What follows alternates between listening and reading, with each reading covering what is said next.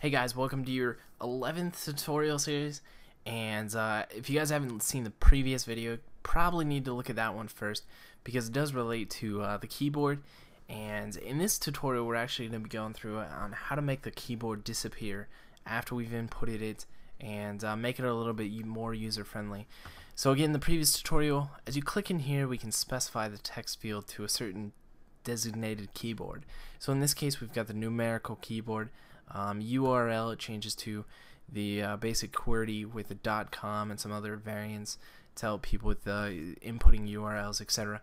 But uh, what would be nice is if we could actually click in this open space, similar to other applications, to actually make the keyboard disappear rather than clicking this button down here to make the keyboard disappear. So that's what we're going to go through now. And uh, so we're going to close out the simulator. And with this, we're going to roll into the, the header file. So as your, your basic view controller, we've got our text fields, labels, and uh, we're going to establish our, our outlets here and establish our actions as well that we want to take place. So with this, um, we're going to identify our outlets. And so the one that we're going to do is just our, our text field out there, our phone number text field. And so we're basically going to put uh, establish that by IB outlet, UI text field, and then give it a name. So in this case, we're going to say this is a phone number, so we know which one it is. So after we've established our uh, outlet there, we're going to put some properties in, and then also our action of the screen touch. And so basically we're saying as they touch the screen, we want to establish this action. And uh, we'll give that, and we'll hook the properties up to that as well.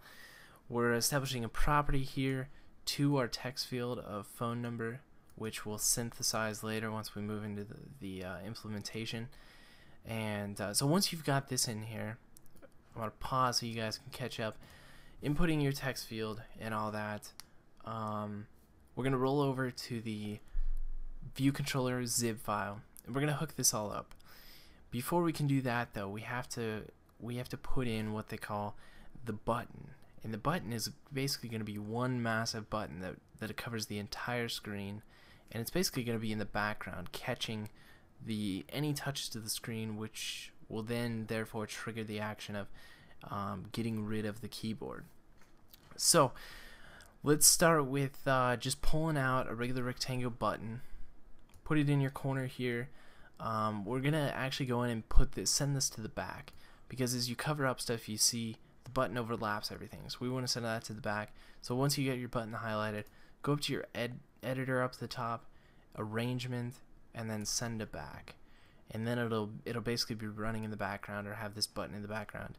The other thing we want to do to this button is over here in the attributes, we're going to change the type from rounded rectangular to a custom.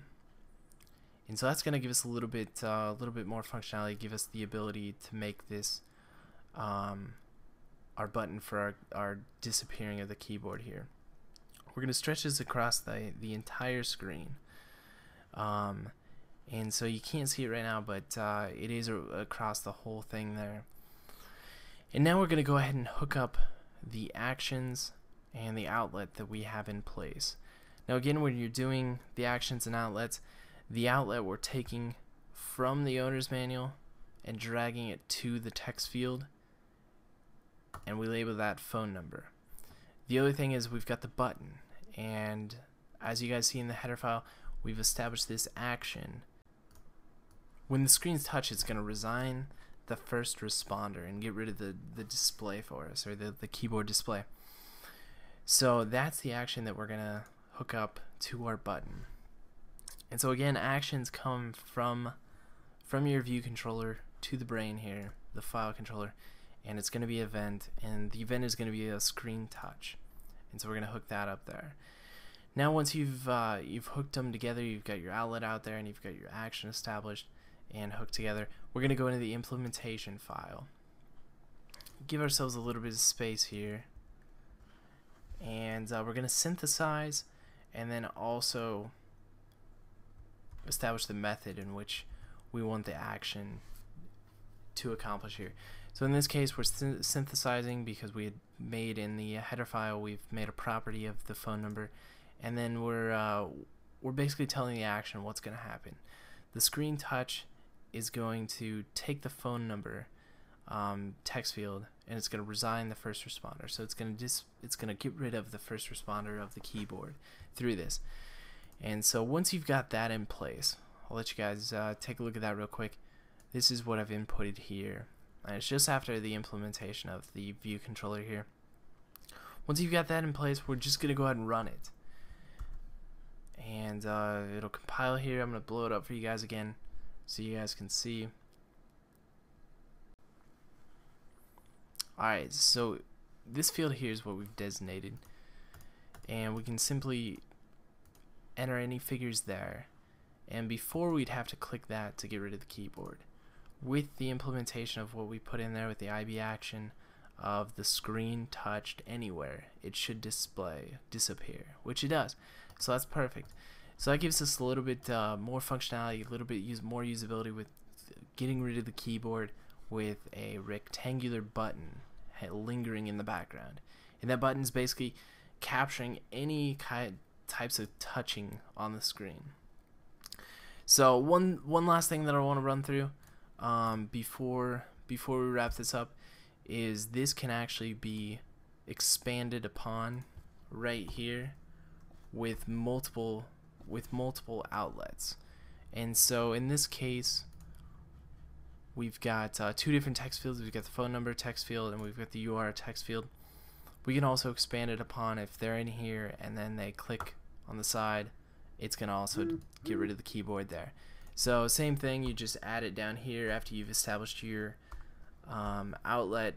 Let's say the next one is URL. And then resign. Oops. Resign first responder. And so that's how you can expand upon it and uh, make it make it uh, I'd have to put something else here. That's how you can make it more user friendly for additional fields on the same screen. So it does give a little bit more um, functionality as well.